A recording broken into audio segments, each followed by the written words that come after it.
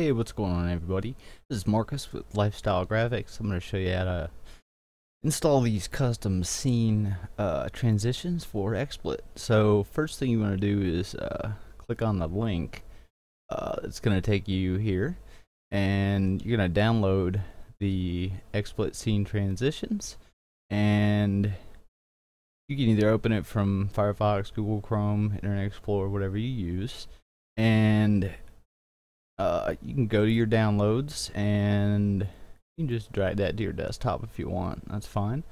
Uh, whatever you use to extract it, um, uh, you can just uh, extract it to your desktop is fine.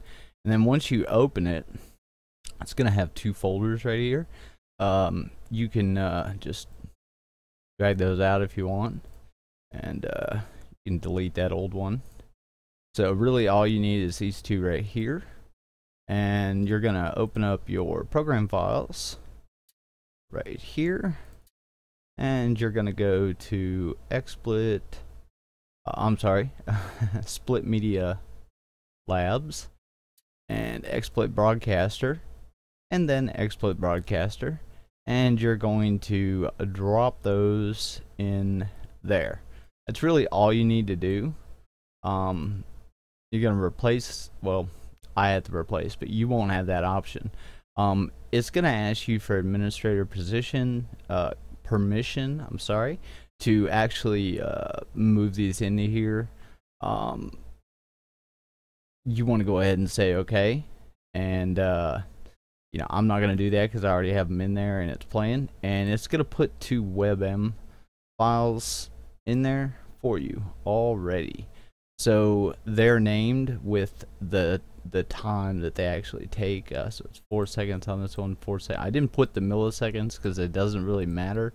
I don't believe uh, putting the milliseconds matters on on the video files. Uh, so um, I just put the four seconds to let you guys know how long it lasts. Um, once that's in there and you open up XSplit, uh, whether you have the uh, paid version, the license, or you have the free one, um, your transitions are going to be located in in a different spot. So I think uh, for the license, uh, if you have the paid license, they're up here in view um, to uh, swap through your transitions. But in the free version, it's down here, and all you do is choose your scene and choose what you know transition you want and uh, you know there it goes it transitions. Um if you click the add to favorites it's gonna you know add that one to a favorite and then you can click the shatter and add it to favorite. And so now um in the bottom down here uh when you're in this scene you can choose which one you want. You can go with uh the shatter. And one of the biggest things for for uh, switching the scenes, keep in mind, uh, go to Tools, General Settings, and you make sure that you uh, optimize scene transitions, have that checked, and then Thumbnail Preview.